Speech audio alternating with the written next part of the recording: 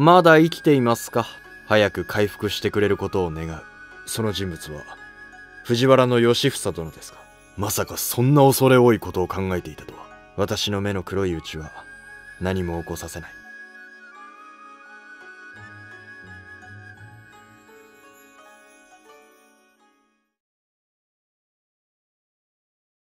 藤原義のクロードの塔に任じる。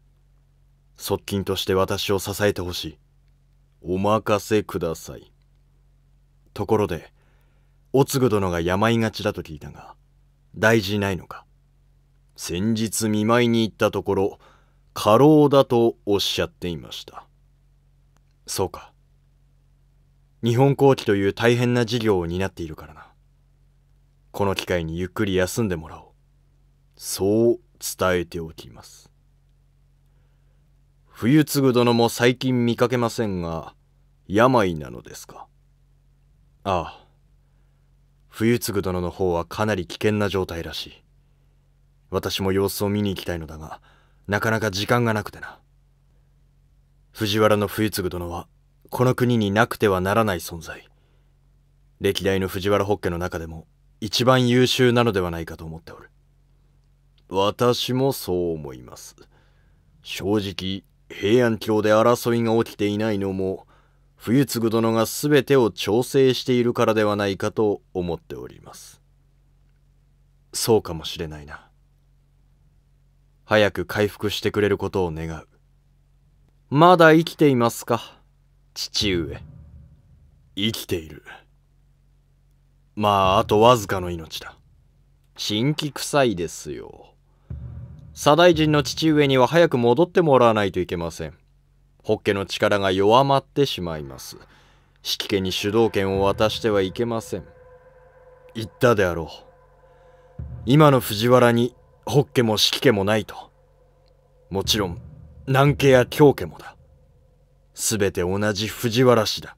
しかし、右大臣の大継殿や先日クロードの塔に任じられた吉野殿が父上と同じ考えを持っているとは限りません。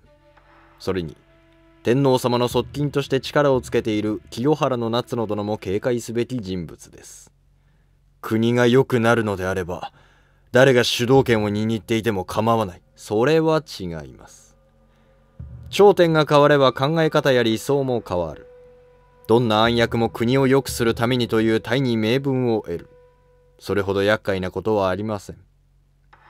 正直言うと、私はお前という存在が怖い。しかし同時に、お前の可能性に興奮している。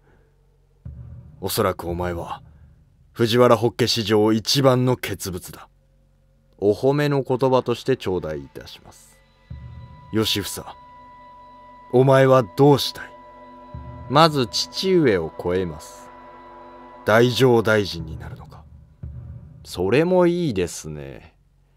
でも、私は摂政を目指します。驚いた。まさかそんな恐れ多いことを考えていたとは。かの聖徳太子様も、この地位で日本を動かしました。私も、この国を動かしたいと思っております。そのために、源清姫殿との結婚を望んだのか。その通りにございます。末恐ろしい息子だ。それも褒め言葉として受け取っておきます。復帰できそうか？冬継上皇様。すまない。親子水入らずの時間を邪魔した。いえ、気にする必要はございませんよ、上皇様。私はこれで失礼いたします。歴史を学ぶのに忙しいもので。愚足の無礼をお許しください。愚足と思っていないのであろう。あれは傑物の類だ。この国を動かす力を持っている。恐れ多きことに、摂政を目指しているらしいです。人心初の摂政か。あやつならなれるかもしれぬな。そのために正良親王を立体視させたのか。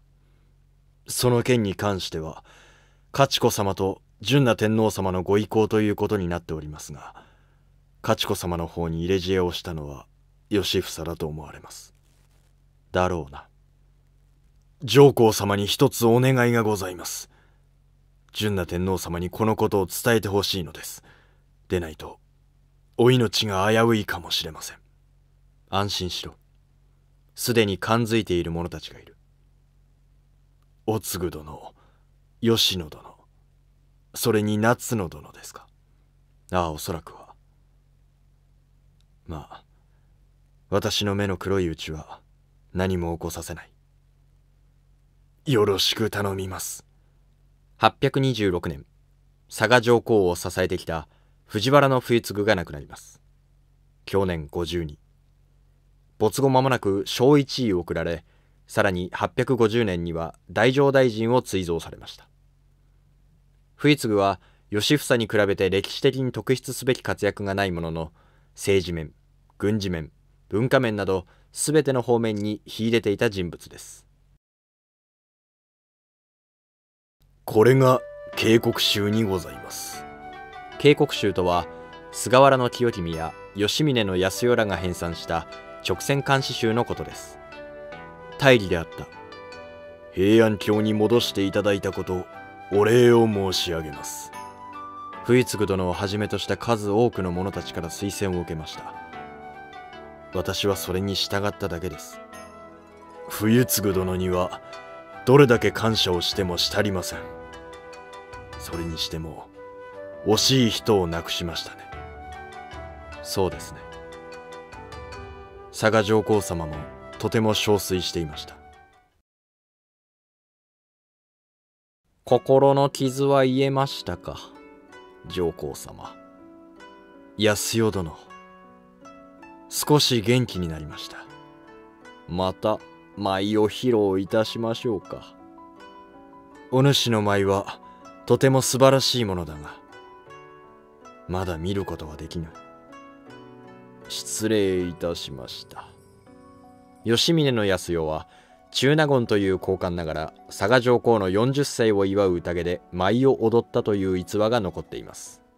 聞いたぞ。警告集の編纂にも携わっていたと。ほとんどは菅原の清君殿の功績です。あのお方は天才だ。文章博士の名前は伊達じゃないってことか。さようにございます。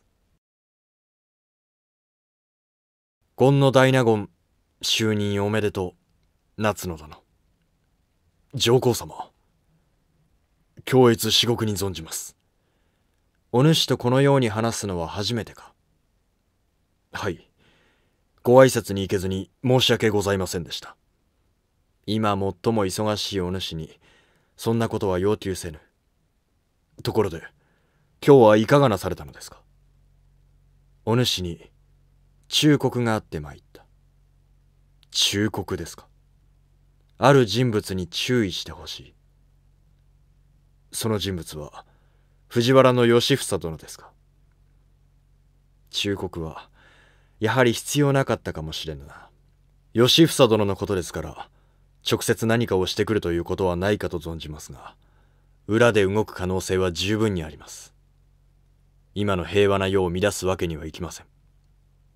マサラの後は常を親王にと思っていたがそれは叶わなかった。私としては血筋の都合上次期皇太子は常貞親王が良いと思うのだがマサラや勝子義房はそれを望まないかもしれないな。上皇様のご意向であれば義房殿も反対できぬかと。それに我々純な天皇様の側近衆が好き勝手をさせませぬ。頼もしいな。よろしく頼む。さて次回の百花繚乱歴史伝は純な天皇の側近の一人清原の夏野にスポットを当てたいと思います。それではまた次回の動画でお会いしましょう。